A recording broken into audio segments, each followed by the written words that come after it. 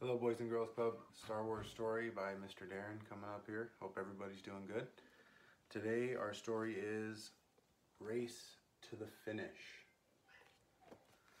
A long time ago on a small planet called Tatooine, a young boy named Anakin Skywalker looked up at the planet's moons. Although he had never left his home, Anakin had always dreamed of going on great adventures and racing across the stars. And I have a question for you. Does anybody know who Anakin Skywalker becomes in Star Wars? Uh, answer that question on another day if you don't know. I imagine some of you do though. One day, it looked like Anakin's dreams were coming true. He had met a Jedi named Qui-Gon who needed supplies to repair his ship. Anakin didn't have money to help the Jedi, so he had entered a pod race, hoping to win the supplies. Although Anakin had never won a race before, he knew he could do it. As the timer counted down to the beginning of the race, Anakin looked at all the other racers. He wasn't worried about any of them, except Sebulba. Anakin knew that Sebulba cheated to win, but he wouldn't get away with it this time.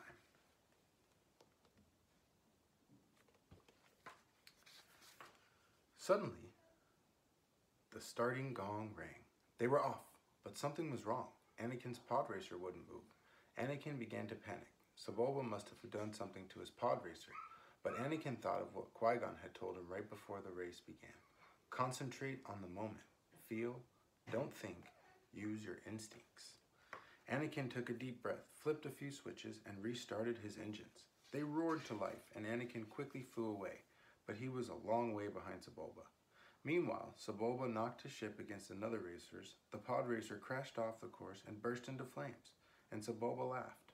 One, few, one fewer racer to worry about.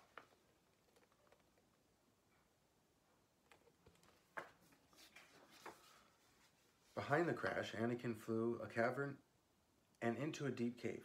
One of the other racers wasn't paying attention and ran right into some rocks. The ship exploded, and Anakin quickly flew around the fire. That was close, he thought. Anakin raced through the stadium. He had two more laps to finish, but he smiled. He was catching up to Sebulba. The racers thundered across the planet. Sebulba was still ahead of everyone else, but he wanted to make sure it stayed that way. So he threw a piece of metal behind him, and it went right into another racer's engine. The engine exploded and pieces of the pod racer flew everywhere.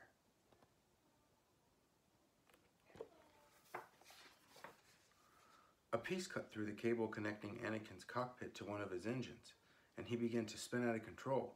But he remembered Qui-Gon's words. Anakin couldn't just worry about his problem if he wanted to win the race. He needed to fix it. Anakin quickly brought his cockpit under control and grabbed the loose cable. Soon he had reattached the engine and was back in the race. Sebulba and Anakin zoomed through the stadium one last time before the final lap. With all the other racers far behind, Anakin realized that Sebulba was the only one between him and the finish line.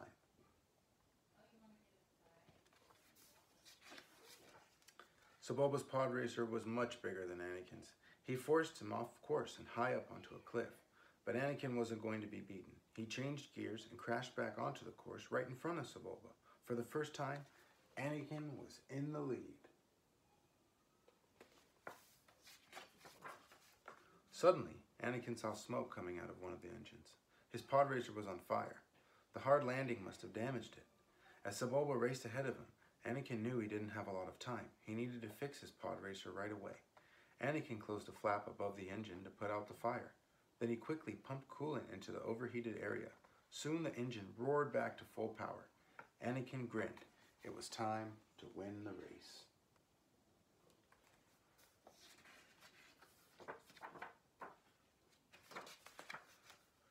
Anakin could see the stadium getting closer and closer as he pulled up right next to Sebulba. Sebulba tried to push Anakin's smaller ship off the course again, but Anakin had a plan this time. As Sebulba rammed him, Anakin caught his pod racer on Sebulba's and Sebulba was stuck. Then, as he tried to pull his ship away, Anakin unhooked their crafts. Sebulba zoomed wildly off course and smashed into a rock. Anakin had used Sebulba's own attack against him.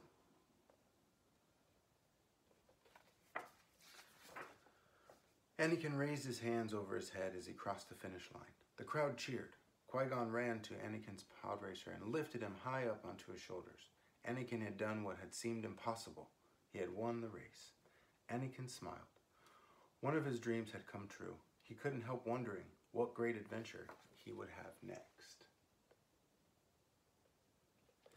So that leads us to the question of the day.